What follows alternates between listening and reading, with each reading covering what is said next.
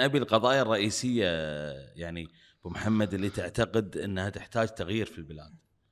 أهم القضايا.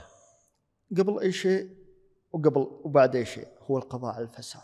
نعم. لأن الفساد يعتبر الآفة التي تهلك الحرث والنسل وتقضي على هذا البلد وتشتت طموحات وأحلام أهله.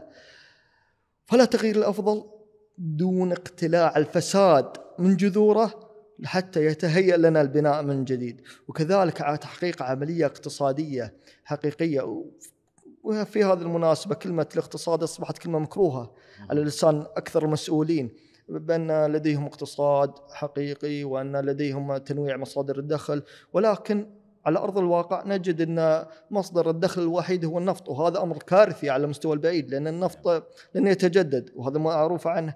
وكذلك إنشاء جهاز رقابي محاسبي من خلال أفضل الطرق والآليات والأدوات لمحاسبة كل مخطئ ودعم كل مصلح ومعاقبة كل فاسد.